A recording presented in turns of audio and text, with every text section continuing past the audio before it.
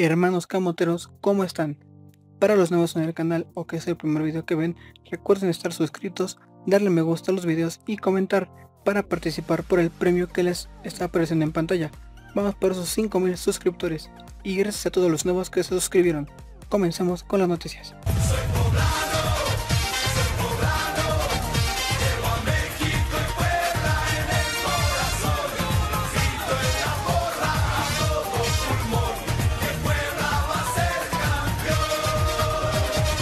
Hugo López Gatel aseguró que el torneo Apertura 2020 deberá iniciar solamente en los estados en donde el semáforo de COVID ha descendido, mientras que en los estados donde el semáforo permanezca en rojo no podrá iniciar. No es una decisión de la liga y corresponde al sector productivo que sea del deporte. Depende del semáforo. Si es regional, estatal y donde existe un semáforo anaranjado o amarillo, podrá tener actividad.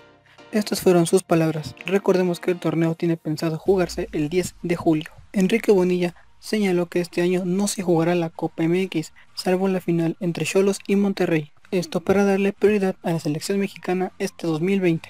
Es básicamente un tema de calendarios.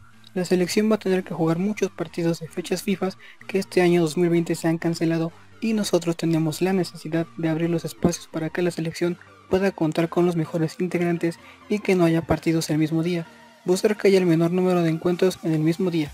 Así que enfranjados, este año no habrá copa. Enfranjados, recuerdan que hace un par de videos se habló del tema del ascenso y descenso, pues la FIFA intervino y mostró su total desacuerdo. El comentario que nos hicieron fue que se tiene que regresar el ascenso y descenso.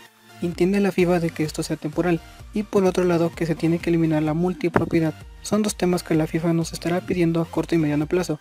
Con el comentario de la FIFA hacia la Liga MX no habrá ascenso y descenso en 5 años, sino en 2. Y se hizo oficial.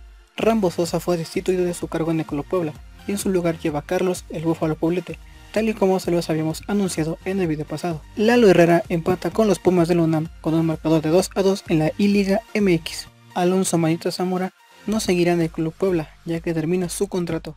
Sería la primera baja del plantel de cara a la apertura 2020. Y bueno, enfranjados, hasta aquí el video de hoy. Muchas gracias por verlo, por comentar y por dejar tu me gusta. Una vez comentando ya estás participando para ese sorteo. Nos vemos en el siguiente video hermanos camoteros.